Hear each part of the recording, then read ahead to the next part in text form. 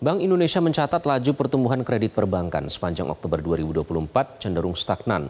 Pada periode Oktober 2024, penyaluran kredit perbankan tercatat tumbuh 10,92 persen secara tahunan.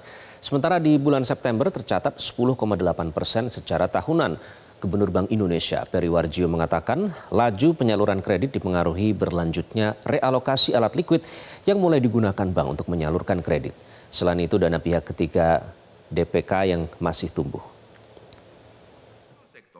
pertumbuhan kredit pada mayoritas sektor ekonomi terjaga kuat, terutama pada sektor jasa dunia usaha, perdagangan, dan industri.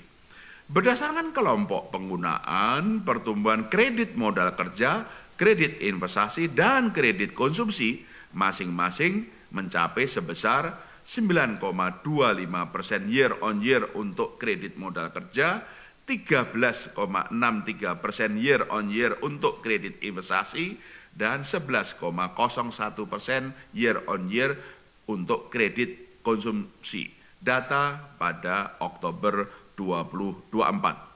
Pembiayaan syariah tumbuh sebesar 11,93 persen year on year, sementara kredit UMKM tumbuh 4,76 persen year on year.